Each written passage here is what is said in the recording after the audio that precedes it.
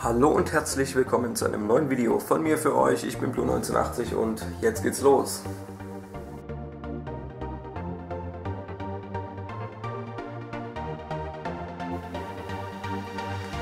Ja, heute habe ich wieder eine Kima mitbringen dürfen von unserem anonymen Sammler. Und zwar geht es hier um einen Beretta Nachbau in Chrom. Ähm, das Produkt ist italienisch.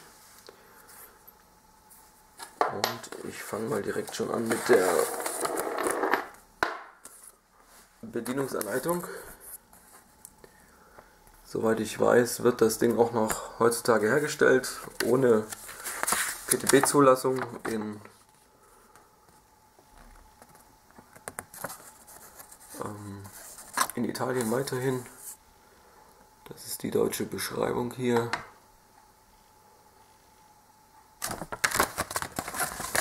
Hier haben wir noch die Explosionszeichnung.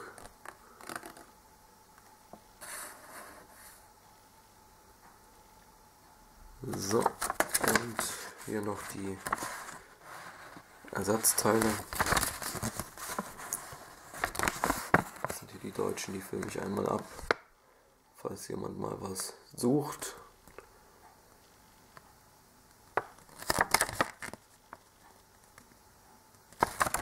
So, das war die Anleitung. Dieses Teil ja, ist natürlich sehr schwer. Also ich würde jetzt mal so sagen 1500 Gramm bestimmt. Zusatzlauf wird so eingeschraubt, ist auch beschriftet mit Modell 85 und 92. Also es gibt noch eine kleine Beretta da, ähm, als Ausführung von Kima. Ja, der Abschussbecher ist aus Stahl. Komplett. Und voilà. so. Äh, die Pistole selber aus Zink verchromt. Das hier ist alles Zink. Also Stahl versucht man hier äußerlich bis auf die Schrauben vergeblich. Ja, das alles hier aus Zink. Ähm, die Beschusszeichen sind italienisch. BS, könnt ihr ja mal googeln oder ich blende das nachher vielleicht noch ein wenn ich es rausgefunden habe. Das müsste aber so um die um 2004 rum ungefähr gewesen sein. PTB-Nummer ist die 842. Und hier auch noch mal die Beschriftung komplett ME Kunomecher importiert. Ja, Magazindruckknopf befindet sich hier, ist gut zu erreichen. Das Magazin ist, glaube ich, 15-schüssig. Ich gucke gerade mal rein. Ne, 10-schüssig, 10-schüssig nur. Im Kaliber 8 mm gibt es die Variante ja auch, aber halt ohne PTB, also hier in Deutschland nicht zu erwerben oder zu erwerben gewesen. Da war die Magazinkapazität 16-schüssig. Ja, aus Stahlblech, brüniert, Zubringer aus Zink. Auch hier ist zwar Metall, aber Zink, gebeiztes Zink, wohin das Auge reicht. Ja, hier haben wir noch die Möglichkeit, ja, so eine, hier ist noch so eine Fangöse, also so für so einen Fangriemen ist hier noch so eine Öse dran, das kann man machen.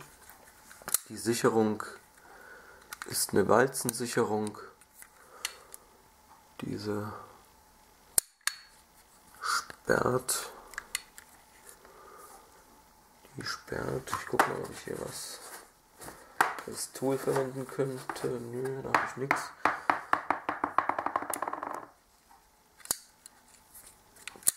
Ja, muss jetzt gleich mal gucken, wie die Sicherung funktioniert, wenn der Schlitten ab ist. Ansonsten äh, im Single Action ja, hat man einen Druckpunkt und im Double Action ein bisschen arg früh aus. Man sieht das auch. Hahn geht jetzt so in diese Stellung und nicht viel weiter und dann schlägt er schon ab. Und im gespannten Zustand sieht es dann so aus, also deutlicher Unterschied. Ja, ansonsten, ja, jetzt versuchen wir mal das Ding zu zerlegen. Das Modell hatte ich jetzt noch nicht als Schreckschusspistole gehabt. Ähm, es gab, ja genau, okay, dann ist das genau wie bei der bei dem anderen Modell. Man muss hier einfach, ähm, ich zeige das mal gerade, hier vorne kommt normalerweise ein Tool rein, also man könnte eine Nadel nehmen oder irgendwas dickeres, was hier reinpasst. Ähm, lässt es dann drin stecken, dann kann man den Schlitten nach vorne nehmen mit und dann kann man dieses Bauteil hier rausfallen lassen, dann wieder zurückschnappen lassen oder man lässt das Tool halt drin. Nee, nee, nee, man muss es raustun nachher. Von der Logik her. Das ist der das Teil, was dann rausgenommen wird. Dann Schlitten nach hinten, nach oben abnehmen und nach vorne kommen lassen. Dann hat man hier den Schlitten in der Hand. Auch hier drin vermutlich ja, nicht wirklich was aus Stahl, außer ja, das wird hier die Auszieherkralle sein, die wird gut angezogen. Die Schräubchen auch und natürlich der Schlagbolzen. Der ist übrigens auch nicht fliegend, liegt er auf, kommt da vorne raus. Also keine Sicherung. Und hier haben wir auch noch so ein Teil. Genau, also die Sicherung läuft dann so, das hätte ich eigentlich auch ausprobieren können. Ich sehe das gerade. Dieses Bauteil drückt die Abzugstange runter und diese kann dann nicht mehr ähm, eingreifen. Das heißt, der Abzug ähm, geht dann praktisch, also es drückt hier runter und dann geht der Abzug nur durch und kann nicht abschlagen, also keine echte Sicherung. Ja, ansonsten die Verchromung sieht nicht hundertprozentig aus, man sieht das so ein bisschen schlierenhaft und alles, aber alles im Allen eigentlich trotzdem ähm, recht schick. Wenn man nicht genau hinguckt, das Griffstück, also genau das hier ist die Feder und auch die Federführungsstange, die ist auch massiv aus Zink, also auch kein Stahl. Ja, aber Feder wohl, klar. Und auch hier Ausstoßer. Der lommelt auch so ein bisschen rum. Weiß nicht, ob das so gut ist, aber okay. Es ist halt aus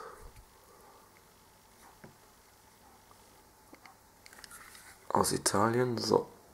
Die Laufsperre sieht man von vorne, die scheint so zweigeteilt zu sein, beziehungsweise aus zwei verschiedenen Materialien bestehend.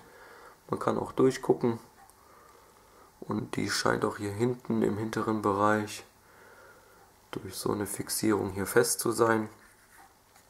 Ansonsten haben wir keine Lagerschwächung bis auf diesen ja, auf diese Stellen hier.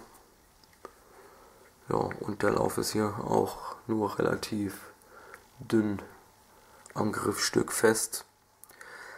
Also wirkt zum Teil auch ein bisschen filigran, kann aber auch, ähm, wie gesagt, PTB-mäßig gefordert worden zu sein bei der Zulassung. So, ja, also Zink, wohin das Auge reicht. Der Zusammenbau geht dann in umgekehrte Reihenfolge wieder. Man legt schon mal die Führungsstange mit Feder rein. Dann Schlitten drauf, nach hinten.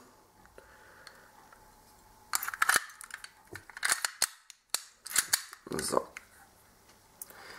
dann muss man zwingendermaßen, das ist jetzt natürlich ein bisschen doof, jetzt muss ich gerade überlegen, wie man das jetzt wieder zusammenfummelt.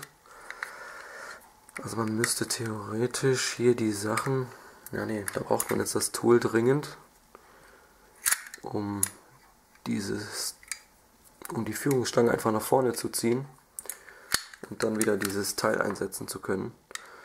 Ähm, das mache ich jetzt gleich, weil ich jetzt gerade nichts zur Hand habe. Mache ich gleich und dann ist das Ding auch wieder komplett zusammengebaut. Aber so funktioniert es. Normalerweise ist da so ein Tool dabei.